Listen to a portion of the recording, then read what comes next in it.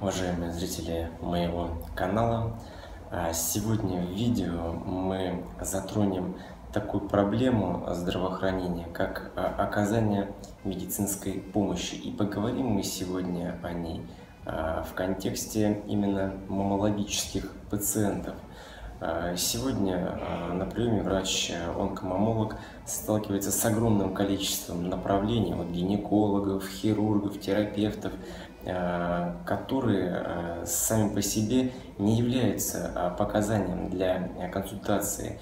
Сегодня идет сброс огромного количества непрофильных пациентов на прием к онкомамологу. И диагнозы, цели направления, они вызывают Э, волнение, потому что э, э, это показывает полное незнание врачей на местах о той нозологии, с которой они направляют пациента.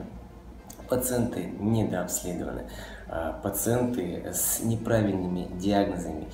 И все я это видео сегодня продемонстрирую и постараюсь заострить видео на основных проблемах именно врачей на местах, что сегодня работает не так и что нужно реально исправить. Так все подробности видео смотрим. Здравоохранение – это головная боль и простого народа, и чиновников. Но в сегодняшнем видео мы не будем говорить о политике. Для этого есть специально обученные люди. Сегодня мы поговорим о неэффективности работы системы здравоохранения и будем говорить не абстрактно и не в общем, мы поговорим в срезе онкомамологии. В настоящее время э, поток пациентов э, в онкологические учреждения и в частности, в котором работаю я, определяется активностью ряда специалистов поликлиник, которые обслуживают районы города по территориальному принципу, а именно это врачи-гинекологи, терапевты, хирурги и врачи-онкологи первичных онкологических кабинетов. Эти врачи первично взаимодействуют с пациентами и должны проводить первичную диагностику и скрининговые методы исследования. Если у пациентки заподозрен рак молочной железы, вышеозвученные врачи должны провести диагностику в соответствии со стандартами, но все хорошо лишь на бумаге, по факту все далеко не так. Сегодня пациенты с любой патологией молочной железы и немолочной железы направляются к онкологу-мамологу, причем без адекватного обследования или вообще без него, мотивируя это тем, что онкологи разберутся. И это не выполнение своих обязанностей, и в ряде случаев просто халатное отношение. Я не говорю, что все врачи плохие и ничего не делают, но процент таковых растет с каждым годом. Стандарты обследования и объем при подозрении на то или иное злокачественное заболевание четко продиктован приказами, однако исполнение этих приказов в большинстве случаев не происходит.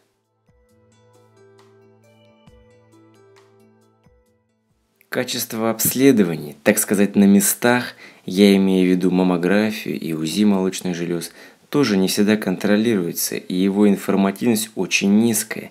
В среднем цифра неинформативного обследования может достигать 30-50%, и это тоже очень тревожит.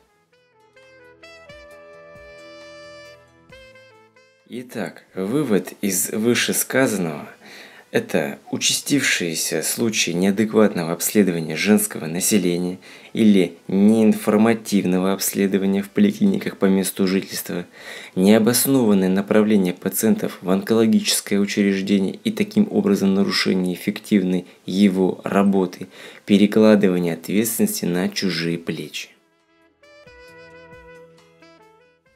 Следующим моментом является неграмотное оформление направлений, с которыми пациенты обращаются в онкологическое учреждение, где нет кода ПМКБ, что является обязательным требованием, часто нет адекватного диагноза, и цель направления тоже остается в ряде случаев призрачной.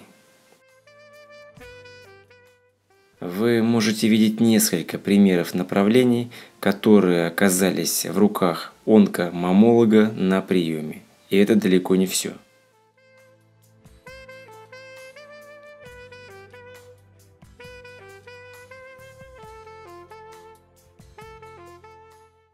После прочтения такого творчества невольно а, задумываешься о компетенции медицинских сотрудников.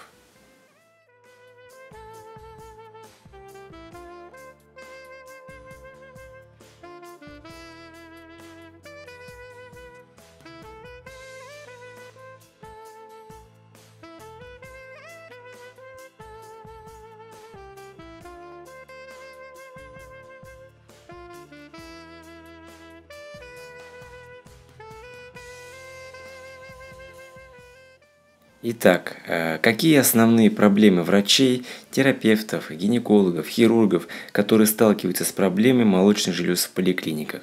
Первое. В большинстве случаев это незнание патологии молочных желез и ее клиники. Второе. Незнание протокола обследования молочных желез.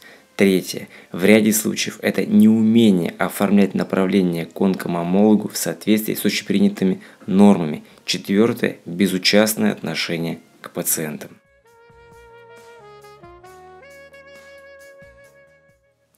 Оправдание этим врачам тоже есть, и я выделю это в следующие пункты. Первое. Загруженность приема, когда нет возможности заниматься нюансами, будучи ограниченными временем приема. Второе. Отсутствие тематического усовершенствования по проблемам молочных желез и попросту знаний. Третье. Отсутствие должной диагностической базы в поликлиниках когда с маммографами проблемы или с аппаратами УЗИ, или очередность страдает и так далее.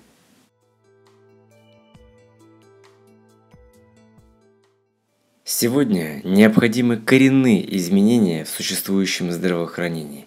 Я не говорю, что прям все плохо, просто есть проблемы и их нужно решать. И мое видение такое. Первое это создать оптимальные условия работы врачей в поликлиниках, когда будет время не только на бумажке, но и на общение с пациентом, и времени на это будет достаточно.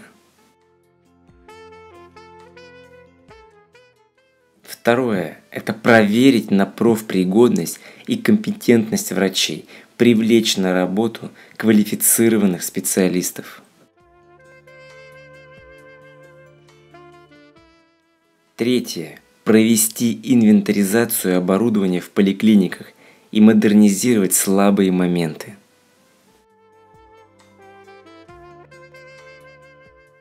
Четвертое. Ввести протоколы обследования или донести их до каждого врача, как действовать при злокачественных заболеваниях, что нужно делать. Пятое. Создать условия для развития врачей и совершенствования их навыков.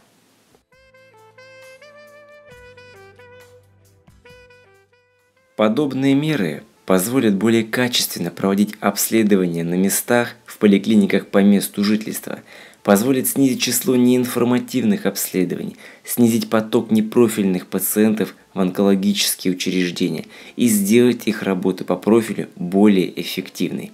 Кроме того, эти меры позволят избавиться от недобросовестных сотрудников. Пациенты в таком случае будут меньше проявлять недовольство и писать жалобы.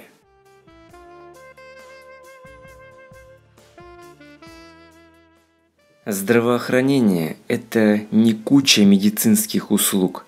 Это система помощи людям, система оздоровления нации. Э, вы э, посмотрели видео, э, я думаю, выводы напрашиваются сами собой. Необходимо провести какую-то реформу именно в том направлении, про которое я сегодня говорил.